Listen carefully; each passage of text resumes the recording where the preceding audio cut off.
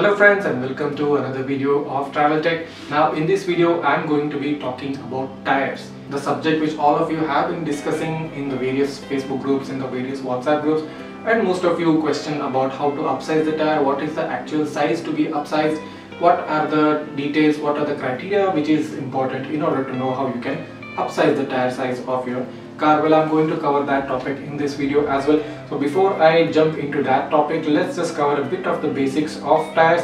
What exactly are tires, how you can classify them, what are the different parts of a tire, how you can read the tire readings and how you can actually upsize the tire size of your car. So let's just jump into the video directly. So before I begin the video, make sure you have liked this video and also subscribe to my channel because I am going to be bringing out many more interesting videos similar to this.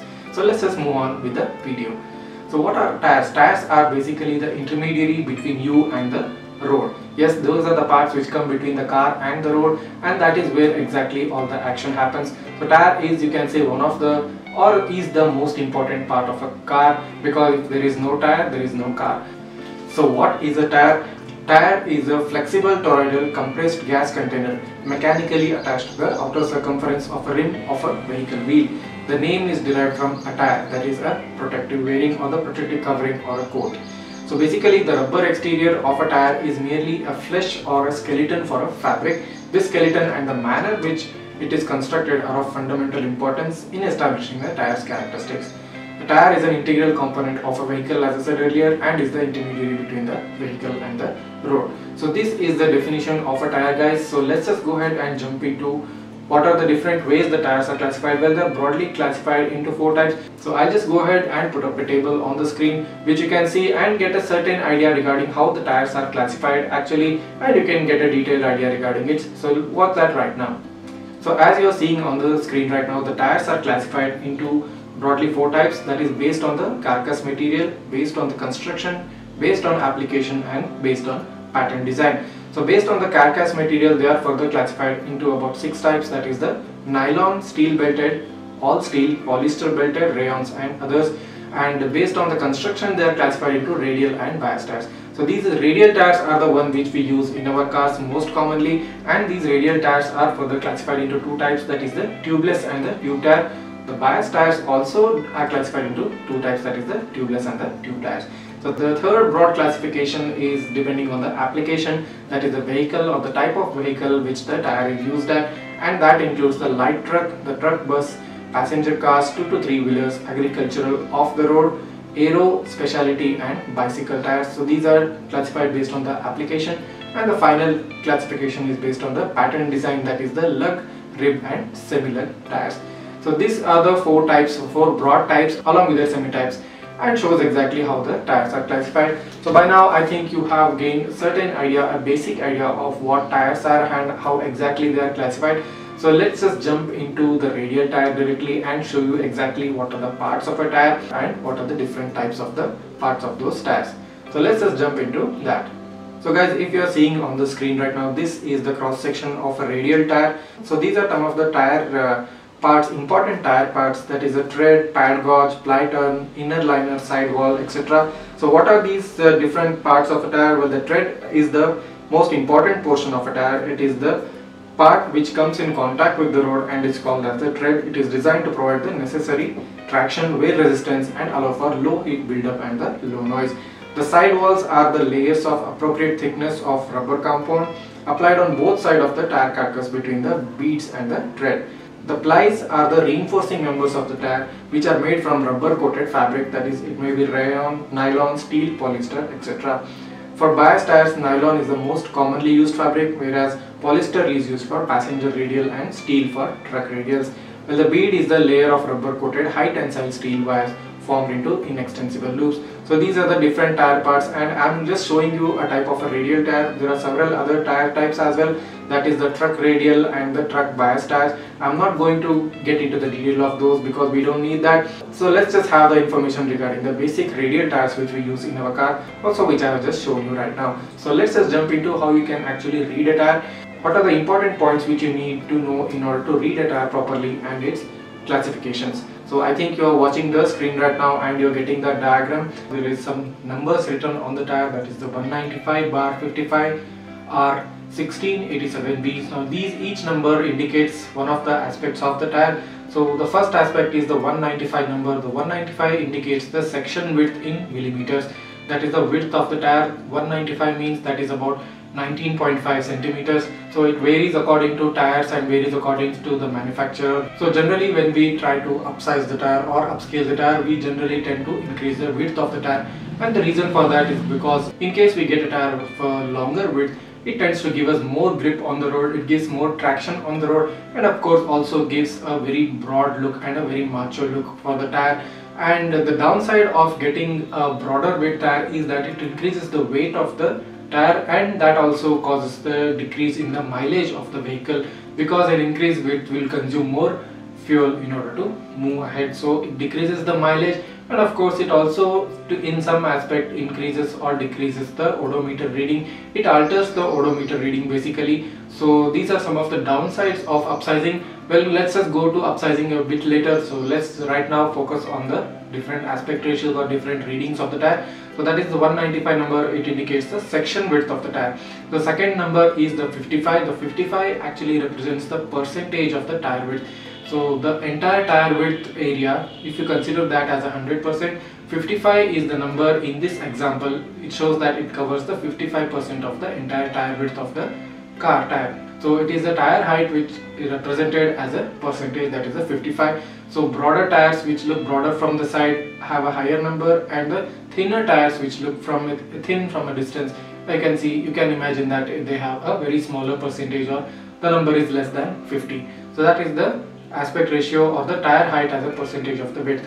Now the number R represents that it's a radial construction so that it is a radial tire. So the next number that is the number 16 so the number 16 indicates the car tire width that is indicated in units of the in inches. So R16 means it is a 16 inch radial tire. So 17, 18 as the tire rim size increases so does the number. So the next number on this example is the 87. The 87 represents the load rating of the tire or the load capacity of the tire. How much load can the tire take? So has, there is a table, there is a detailed table regarding what are the load index of the tire. Well, I'm not going to jump into the detail of the load index because it is not required in this video. It is just enough if you know that the number after the uh, tire width indicates the load index of the tire and generally the higher the number it is the higher the load index.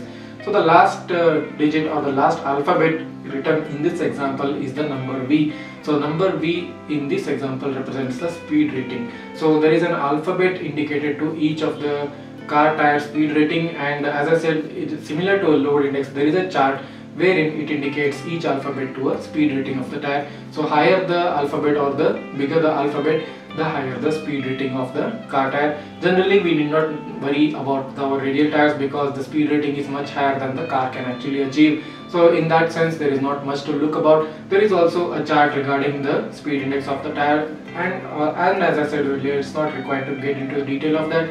It is just enough if you know that the last two parts of this uh, numerology or the numbers on the tire represent the load index and the speed index of the tire. So this is the how guys you need to learn to read the tire ratings and what is written on the tire. And of course the manufacturer company name will also be written along with these readings so you can also read that. So now once you have watched this video once you have gained this uh, information I think you guys should go ahead and watch your tire and look at your tire. What exactly is the readings of your tire on your car? Uh, what is the section width? What is the aspect ratio?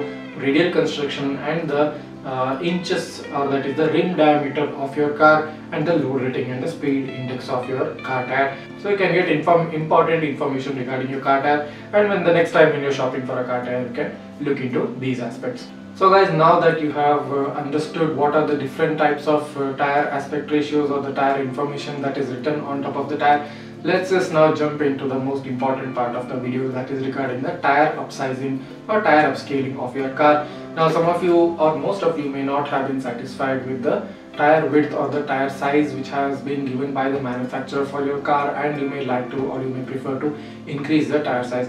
Well tire upsizing is both good and bad in certain ways. It is good in a way that first of all it improves the aesthetics of your car. Once the tire becomes bigger or broader it gives a more broader look, it gives a more uh, uh, dominant look or to your car of course. And of course functionally also it improves the road grip. It improves the traction and it improves the way your car handles during uh, driving when you're driving in a very high speed. So there are many good aspects of tire upsizing also. So the downsides of tire upsizing is that as i said earlier it increases the weight of the car drag of the car and it decreases the mileage of the car in the long run. And one of the most important aspects is that it changes or alters the odometer reading. So the actual odometer reading is depending on the manufacturer car tire size so the car tire size which the manufacturer has provided has been loaded onto the CPU or to the artificial intelligence unit in your car and once you upsize your tire size uh, the computer does not detect the upsizing and it calculates the odometer based on the previous car tire size. Uh, so if you can observe the fact that if there is a difference in the width of the tire or the aspect ratio or the rim diameter, the computer in the car does not take into account that and it takes into account the previous uh, readings which has been fed into it. So in the long run as you go ahead and keep driving, there is a vast amount of difference in the odometer reading of the actual odometer reading and the outcome, the example of the odometer reading which is being shown on the dashboard and it causes some discrepancies during services and everything. So this is what happens when the odometer reading changes. So what is recommended is that you need to upsize in a way that it is less than 2% of the previous uh, car tire size. So what is this 2% so how you can calculate uh, the tire upsizing so that it remains safe below the 2% margin of error. So how you can exactly do that? Well I have provided a link in the description of this video. There is something called as a tire upsize calculator. So once you click on that link you can go ahead and open up a web page wherein you have to input your previous car tire size and the car tire which you are preferring to buy or which you are planning to buy and the sizes of that. So once you input those particular numbers and you click on the calculate button of that particular web page, so it shows the current circumference of the tire size which you have which you are having currently and the one you are planning to get the circumference of that and it is going to calculate the difference and if it is less than 2% you can go ahead and change the car tire size. So I hope you guys understood in detail regarding how car tire upsizing is done, what are the aspects you need to consider in order to upsize your tires. So this is the information guys which I needed to share you and I hope you have understood all the details, all the advantages and all the disadvantages of doing it. And in case you are doing and in case if you are planning on upsizing make sure you understand both the advantages and disadvantages. And as I said previously the advantages are a lot and that actually includes giving a very uh, proper look a very aesthetic look to the car and a very dominant look because of the broader tires and of course it increases the road grip it increases the traction of the car and it gives you a more proper grip of the road. The downside is that it increases the weight of the car it increases the drag and it also decreases the mileage so if you are someone who is very concerned about the mileage and as i have seen in the various discussions of the group most of the people are very much concerned about the mileage of their cars. So in case you are somebody who belongs to that group i don't think tire upsizing is a good thing for you because it is going to decrease the mileage in the long run and it is going to put a pressure on the mileage aspect of your car. But if you are not bothered about the mileage and you just want to have some fun tire upsizing is a good idea. And just as i said earlier make sure you do it after understanding both the pros and cons of tire upsizing and don't do it just because everyone else is doing it and it is fashionable to do so. Just don't do it because of those reasons. In case you're doing it do it properly and do it in a very professional manner so this is the detail regarding tire upsizing and I hope you guys have understood every aspect of it and in case you still haven't understood a part of it or most part of it you can write down in the comments below and I'm going to reply back to you as soon as possible and I hope I can clarify any of the doubts which you have. So this is the video which I wanted to bring in front of you regarding what is a tire, what are the different ways the tires are classified, what are the different parts of a tire and how you can read the tire ratings and the tire numbers which are printed on top of the tire. So I hope you have gained some important knowledge, some important information from this video and the most important part about the tire upsizing which is almost discussed in every WhatsApp groups, in every Facebook groups as much as I've seen regarding tire upsizing. I hope this video clarifies your doubt and if you have any doubt you can write that down.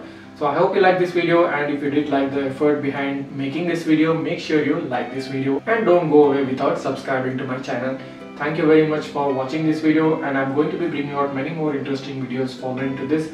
So make sure you keep watching my channel. Thank you very much and have a really nice day.